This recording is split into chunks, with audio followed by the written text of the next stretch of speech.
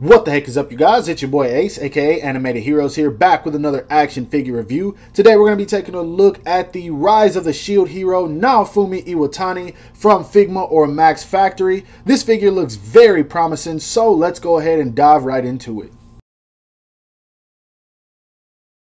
Starting off with the sexy packaging, it does have a green and black color scheme, and I think they did that because it kind of fits the look of the character. At the top it says Max Factory, warning, choking hazard. We've got the window right there where you can see the figure and some of the accessories. Figma action figure series, this is number 494, so man, they have really been killing it knocking these out. Pretty sure this says Rise of the Shield Hero right there, Naofumi Iwatani right there at the bottom. Then up here you've got an image of him with the same information we got on the front same image right here at the bottom and the barcode. Right here we do have an image of him standing tall with one of his shields. On this side we've got the same thing. He's got his cloak on and that looks pretty dope. I can't wait to see how that turns out. Then of course on the back we do got some poses we can get the figure into all the legal stuff and then a bunch of other japanese stuff that i cannot read. So let's go ahead and bust this figure out and see what it's all about because i've been waiting on this one for quite a while. Before i dive into the figure i do want to say that i am not familiar with this anime anime at all and purposefully because I decided I wanted to do another blind review just to make sure that it wasn't biased because as you guys know I tend to get really excited when it's an anime that I'm familiar with and I really enjoy it. Now this is a very popular anime which is also why I've shied away from it and the fact that I've just been watching a million other things that I'm trying to finish but um in terms of this figure I just have to say this is Figma when they go all in and they really give us what we want because, man, this figure looks and feels nice. I do have one issue with it so far, actually, two. One being that he is a little bit loose, like uh, it feels like he's a little flimsy, more so than usual. I feel like the more I mess with this guy, he's probably gonna like be extremely loose. I hope not, but it just feels like it. And then right here on his chest, I have this little, I don't know what this is. It's like a little scuff mark or something. I've tried to get it off, but I cannot. I looked at the box. It's not like a scratch in his arm or anything. This is just a factory defect on mine, and that does suck. But um, yeah, that is the only issue, or only issues I have right now. But anyway, on to the look of this guy, man. This thing looks dope. I love this head sculpt, first of all. I love this hair sculpt. I love this entire body sculpt. Like, I, am a sucker for like gladiator type characters or armor type characters. And especially when it comes to anime, and this dude just looks so sick. And one thing I like that they did, um, I don't know how any of this is in the anime, but with the shield, I doubt it's going to be this way with the others. The one that you see on him right now, it just kind of pegs on to him, and I like that a lot. Um, I really wish other figures would be like that in terms of putting these on because as you can see it's not going anywhere I don't have to worry about it falling off the hand or any kind of handle flipping around but a lot of pieces peg onto him including this piece right here um, I don't know why you would take that off, but uh, I'm pretty sure it's going to help in terms of articulation. The fact that you can move that around. And then these pad pieces right here on his pants also peg on. They all go on pretty easy. They don't come off at all from what I've seen so far. You can move them up, move them down, but I'll discuss that a little bit later. Um, but anyway, man paintwork on this guy very very clean um, that looks ugly but i mean there's really nothing you can do about that it is the backside of the figure and he does wear a cloak to cover that up. I really like this piece right here too. Uh, he's got a little pouch right here. I don't know if you can take that off. Uh, i'm not. But um I, I love all of this man. This figure looks really really nice. So in terms of the looks and aesthetics i give it to him. This is a 10 out of 10 for me. Now, another thing I really like about this figure is that he's actually taller than most of the male Figmas that we receive. Typically, they tend to make their characters way too small, especially when it comes to figures like the Figma Todoroki, but this guy is definitely scaled a little bit bigger. As you can see to the top of his head, he's right at six inches, and so that's pretty dope. I don't know how tall he is in the series, but I feel like if they scaled him up, he's probably a pretty tall character. And of course, I will show some size comparisons a little bit later so you can see how he stacks up with other Figmas and other figures.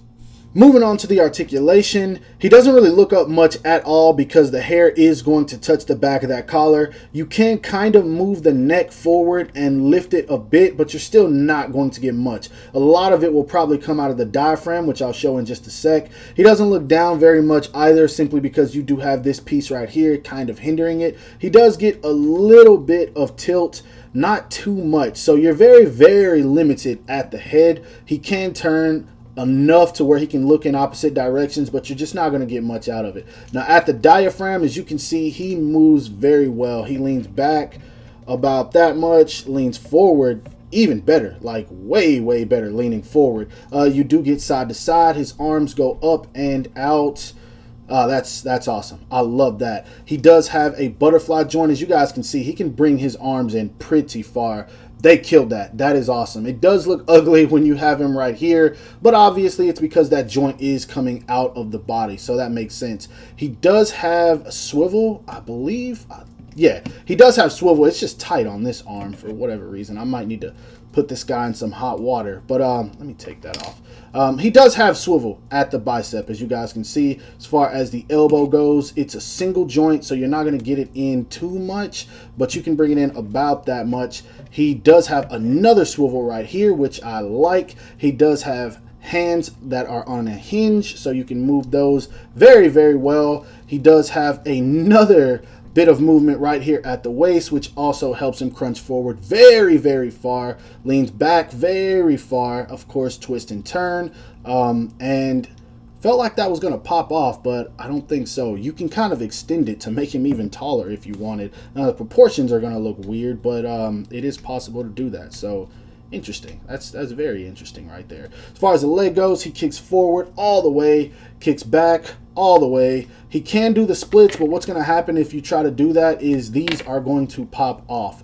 And so you don't want to bring those in too much. Otherwise, you're just going to have to take them off. And it's going to look weird because as you can see, it's a double ball peg right here that pegs into his legs. And so that really just isn't going to work too much. He does have a built-in thigh swivel. It doesn't work very well, but it is there. As far as the knees go, they can bend all the way in. And so that's exactly why it makes up for that ugliness back here. It just gives you a ton of range when you bring the leg in. So I think that works out very well. As far as the knee, you also get a little bit of swivel in here if you want to turn it to posing, but it's not really necessary. As far as the foot goes, it goes down about that much, goes up about that much. He gets ankle rocker and toe hinge. So articulation on this guy, I'd say the only place it's really lackluster is at the head, just because you probably want to pose him around looking a little bit better, but that's it. Everything else works very, very well. But once again, I do want to mention he's very loose.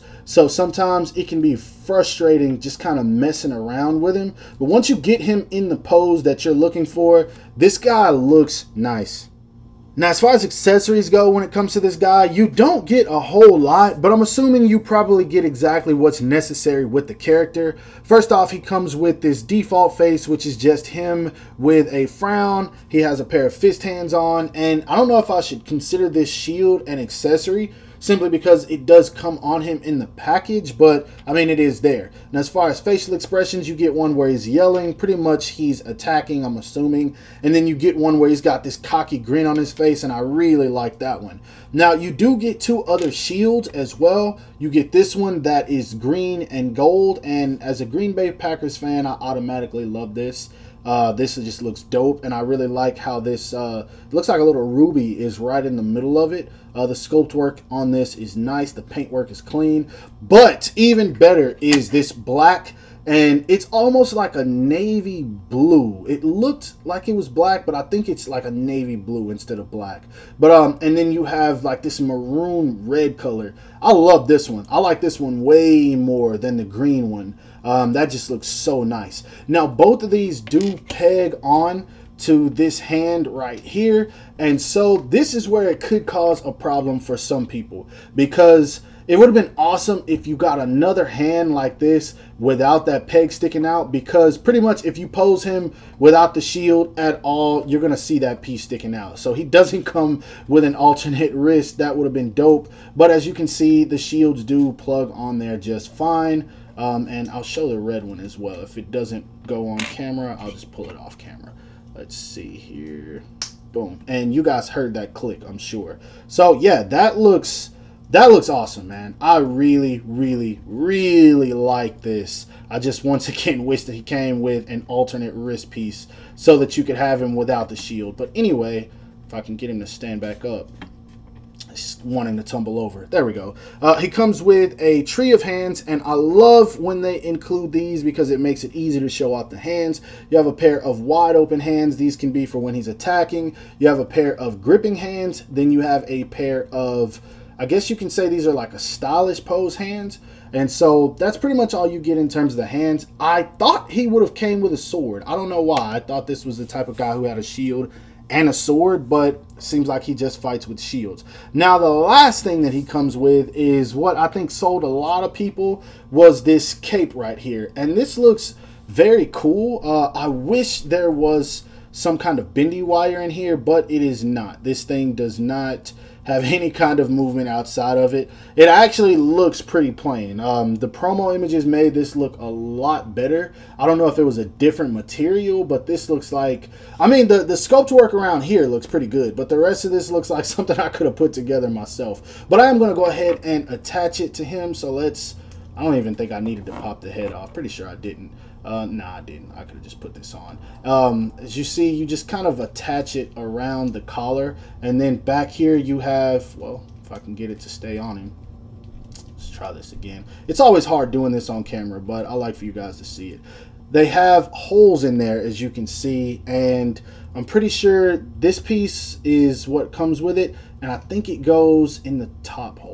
Let's see if I can get this on here. Yeah, this is being a pain. So I'm going to do this off camera and then I'll show you guys after. All right, so here he is with the cape on, and I gotta say, it looks cool, but it is once again very lackluster. If this thing was if it had any kind of bendy wire in it, then I would be all over this because man, it would be so dope just to pose this guy in like a walking pose and having the cape just kind of blowing out instead of just like this where it's just so plain and once again, the material is just kind of whack. Like, I mean, I get it. It's just I don't know. I'm, I'm, I'm not going to get into that too much. I don't know. The material's just whack to me. I don't really care for it. Um, if anyone does a custom cape for this, it will top this figure off for me. But in terms of putting it on, you just plug that piece right there into the top hole. There's no hole in the midsection of his back, so I don't know what this is for at all right here because this is obviously where you plug the stand if you want to pose him. So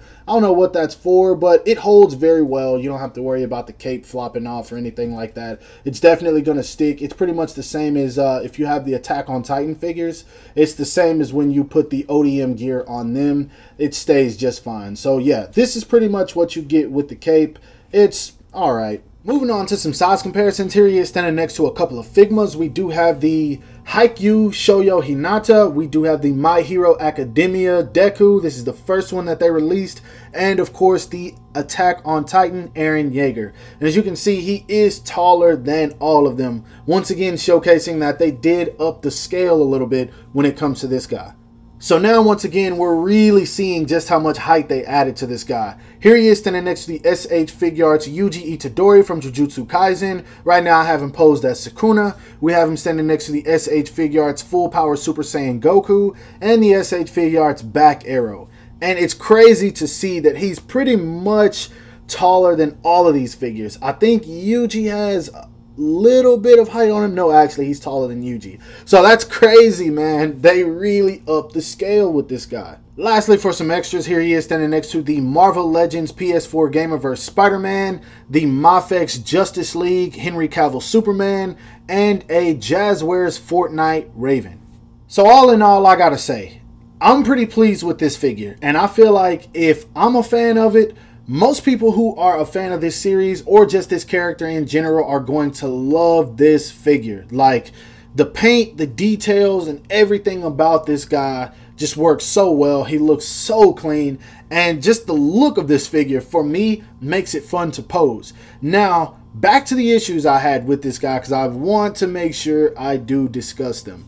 Um, as far as the wrist peg on the hand, that's going to bother some people. It's something I feel like I can get over. Maybe I'll just pose him in a couple of shots where he's angled and you can't really see it. It's something that can be hid.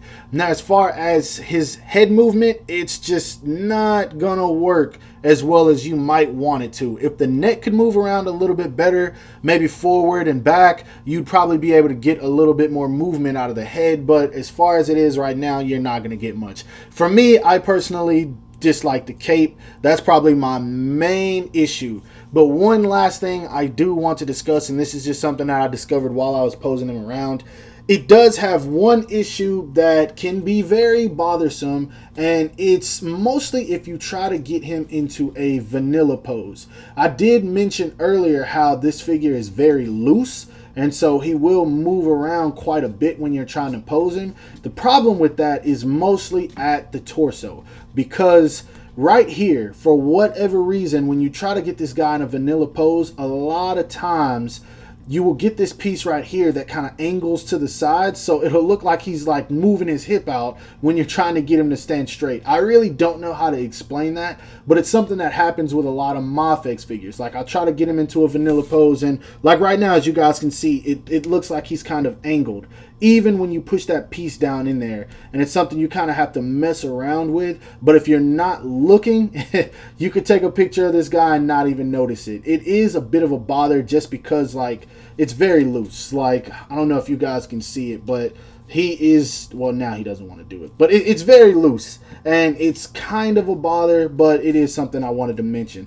Overall despite these issues i still really really enjoy this figure and I think that you guys will too. So that is my final thoughts on this guy. I do hope that you guys enjoyed this review. If so, don't forget to give it a thumbs up because that always helps me out. Subscribe to my channel if you haven't already and make sure to hit that bell icon to be notified whenever I upload new content. And lastly, follow me on everything you see listed in the description below to keep up with my activity outside of YouTube. I hope you guys have a great rest of your day. Stay safe wherever you are. Pick this figure up if you can because I feel like he is going to get very expensive if you wait. And um, bye.